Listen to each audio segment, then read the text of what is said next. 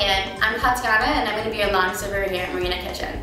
Not an Hardy fan? Well, you might be now. Ed Hardy and Mike Malone created this delicious spiced rum in honor of their mentor and famous tattoo artist, Norman Sailor Jerry Collins. Adding spices to rum is an old sailor tradition, and with this rum, they added all the right ingredients. At 92 proof, this smooth Caribbean rum has a taste of warm spices of cinnamon and nutmeg and rich vanilla. And it has a dry finish with a soft sweetness and a hint of burnt toffee. This rum really symbolizes Sailor Jerry's high standards of tattoo design and good tasting rum. If you haven't tried it yet, then come on into the Marina Kitchen and do so. Marina Kitchen.